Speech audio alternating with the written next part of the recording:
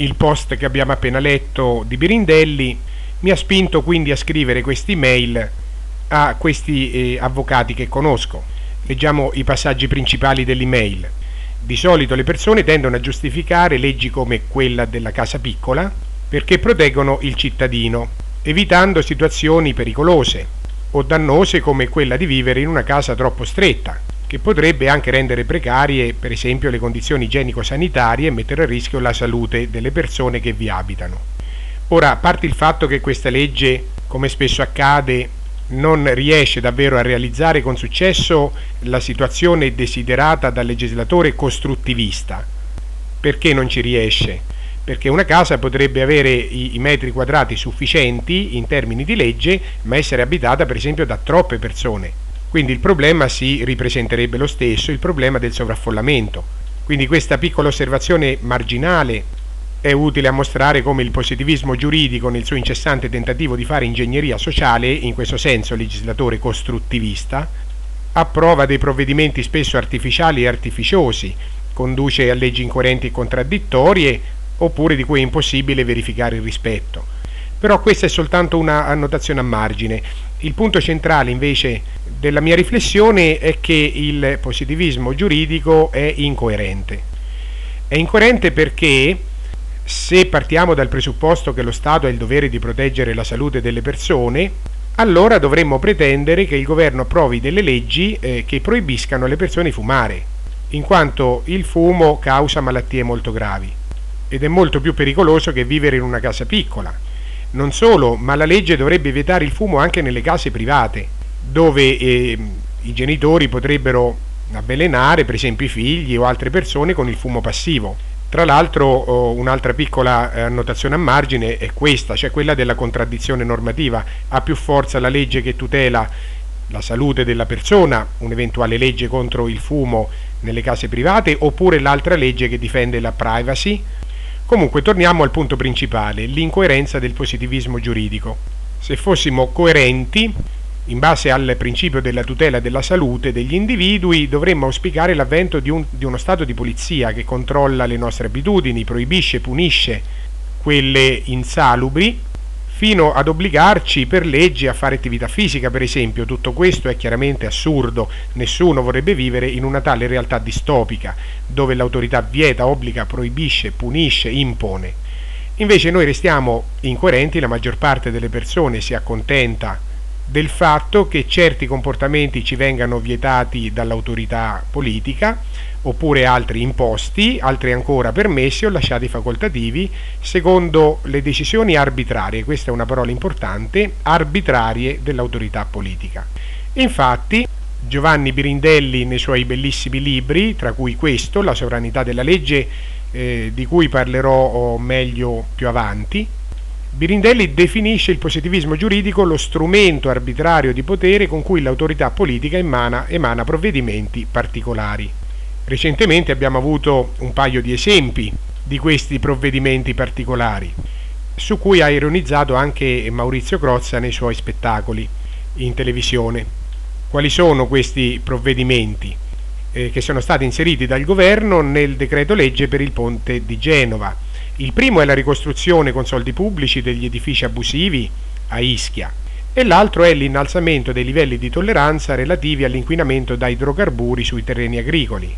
Ma questi sono soltanto due esempi recenti, tra innumerevoli altri anche peggiori, che vengono approvati eh, da tutti i governi democratici, eh, come dice Pirindelli, in nome di chissà quale maggioranza e chissà quale volontà popolare. Qual è il punto di vista delle persone, della stragrande maggioranza delle persone e anche dello stesso Crozza eh, rispetto a questi provvedimenti attuati dai governi? Che si tratta di provvedimenti scandalosi, immorali, irresponsabili. Tuttavia Crozza e le persone si limitano a condannare i provvedimenti specifici in sé, ma non si rendono conto che la, la cosa più sbagliata e immorale eh, è, è l'idea filosofica astratta di legge che permette di rendere re- legali tali provvedimenti, cioè la cosa più sbagliata è, è l'origine di quei provvedimenti, cioè il positivismo giuridico. E Birindelli spiega che le prime vittime, inconsapevoli di questo sistema perverso, cioè il sistema del positivismo giuridico, sono proprio le persone per bene, perché credono di rispettare la legge, mentre invece stanno rispettando soltanto lo strumento di potere coercitivo arbitrario dell'autorità politica. Rileggiamo infatti cosa Birindelli eh, come de- Birindelli definisce il positivismo giuridico, lo strumento arbitrario di potere con cui l'autorità politica emana provvedimenti particolari. Quindi le persone per bene credono che la legge sia il positivismo giuridico, perché così funziona la moderna società democratica. La legge è la legge fiat, cioè i provvedimenti particolari e arbitrari con cui i governanti possono rendere legge tutto e il contrario di tutto al punto che al giorno d'oggi sarebbe ancora legalmente, cioè democraticamente possibile, attraverso regolare processo iter democratico, eh, addirittura approvare nuove leggi razziali, in quanto non è cambiata l'idea filosofica astratta di legge, il positivismo giuridico, con cui viene esercitato il potere politico. Per questo Birindelli definisce eh, democrazie totalitarie i sistemi giuridici in cui viviamo perché eh, sono caratterizzati dalla mancanza di un limite al potere dell'autorità politica. Di solito oh, le persone quando si fanno notare queste contraddizioni e queste realtà rispondono che non si può fare diversamente. I provvedimenti dell'autorità politica sono inevitabilmente particolari e arbitrari, ma con le elezioni il popolo può esprimere il suo grado di apprezzamento verso le decisioni prese dai suoi rappresentanti. Questo infatti è uno dei miti più diffusi a sostegno del culto della democrazia. Ma non è affatto vero che non si può fare diversamente, infatti esiste un'altra idea filosofica astratta di legge che non è arbitraria e che Birindelli chiama la legge con la L maiuscola. È il principio di non aggressione, il principio astratto, la regola generale negativa di comportamento individuale valida per tutti allo stesso modo. La parola negativa sta a indicare che il principio di non aggressione dice soltanto ciò che non si può fare, per non limitare la libertà degli altri, per non aggredire eh, le altre persone e le loro oh, proprietà.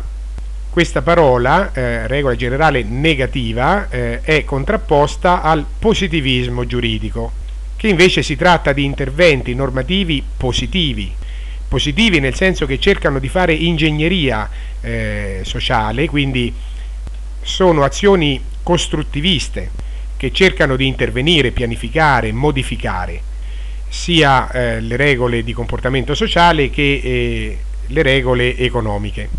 Invece il principio di non aggressione, la legge con la L maiuscola, è semplicemente il divieto di aggredire o minacciare gli altri individui e i loro beni di proprietà. Il principio di non aggressione non è arbitrario, infatti è il limite non arbitrario a qualsiasi potere coercitivo anche e soprattutto eh, fa da limite alla coercizione dello Stato. Un'altra eh, osservazione che spesso viene fatta è che senza lo Stato la società degenererebbe nel caos, nella violenza, nella prevaricazione e che eh, non sarebbe possibile far rispettare il principio di non aggressione. Invece non è così, in quanto un sistema di agenzie e tribunali privati in concorrenza di libero mercato in un libero mercato dell'amministrazione, della giustizia e soprattutto della legislazione, assolverebbe egregiamente a tale compito, originando un processo di ordine spontaneo, detto anche anarchia ordinata, molto più efficiente di quello garantito dallo Stato. A questo punto molti eh, sostengono che eh, si tratta eh, di un qualcosa di utopistico, per esempio un sistema di agenzie e tribunali privati in concorrenza in un libero mercato della giustizia e della legislazione sembra una cosa irrealizzabile, ma in realtà non è così irrealizzabile. Come lo stesso Birindelli in diversi suoi articoli ha eh, ben spiegato, è probabile che si arrivi spontaneamente a questo libero mercato un po' di tutti i servizi che oggi lo Stato offre in monopolio Infatti è molto plausibile che in un futuro più o meno lontano le attuali socialdemocrazie, sempre più devastate dai loro mali intrinseci ed inevitabili, e quindi indirizzate verso il declino economico, causato dalla sistematica violazione delle leggi dell'economia di mercato, con conseguente incremento delle azioni coercitive e degrado sociale, dei valori morali. Questi sono tutti problemi ben spiegati anche nel libro che abbiamo già discusso, Oltre la democrazia. Quindi dicevamo ci sono evidenze che in un futuro più o meno lontano le attuali socialdemocrazie eh, saranno destinate a dissolversi sotto le spinte separatiste e indipendentiste, per esempio perché le regioni più ricche e produttive non vorranno più sovvenzionare eh, le altre più arretrate. Questo in un periodo di crisi diventa un problema importante e quindi gli stati nazionali si eh, frammenteranno probabilmente in territori più piccoli, autogovernati, alcune città-stato, in concorrenza istituzionale tra loro, dove il potere politico risulterà meno concentrato e maggiormente disperso, distribuito e più vicino alla base sociale. Queste comunità indipendenti saranno più simili alle società libertarie che ai moderni stati nazionali e che c'entra questo con il libero mercato dei servizi? C'entra perché con la crisi degli stati nazionali e molto probabilmente, quasi sicuramente, sorgeranno spontaneamente nel mercato tutta una serie di eh, agenzie e di attori economici che eh, proporranno, forniranno quei servizi che gli stati eh, non, più, non saranno più in grado di erogare per colpa della mancanza di soldi, di finanziamenti, dell'inefficienza della grave crisi economica che eh, sembra inevitabile nel lungo periodo.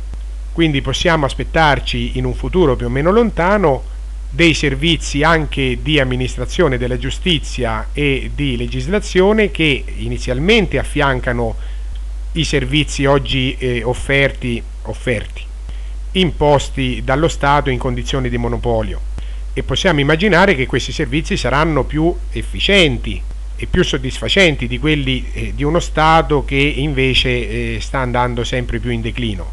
Quindi piano piano le persone si eh, rivolgeranno sempre più a questi servizi di libero mercato un po' in tutti i settori eh, rispetto ai servizi eh, monopolistici dello Stato. Così anche l'amministrazione della giustizia e la legislazione possono diventare eh, un qualcosa che viene offerto privatamente. Concludo dicendo che un fenomeno simile eh, già sta avvenendo nel campo del denaro. Infatti il denaro dello Stato, il denaro fiat, a corso legale e forzoso, sta attraversando un periodo di crisi anche perché subisce conti- una continua svalutazione e poi perché eh, è aggredibile dalle istituzioni statali attraverso patrimoniali oppure prelievi forzosi. Perciò oh, al giorno d'oggi sempre più persone si stanno rivolgendo alle criptovalute, come per esempio Bitcoin. Ora le criptovalute non sono nate per sostituire il denaro fiat dello Stato, ma semplicemente per affiancarlo, però essendo più efficienti, non aggredibili e permettendo il totale controllo e la piena libertà di utilizzo, a differenza del denaro fiat, finiranno per sostituirlo nel lungo periodo. E quindi avremo un denaro per così dire, di libero mercato che va prima ad affiancare e poi sostituire il denaro monopolizzato dallo Stato o dalla BCE. Ecco, un, processo simile potrebbe avvenire per, eh, attraverso un'offerta privata eh, di mercato dell'amministrazione della giustizia e della legislazione.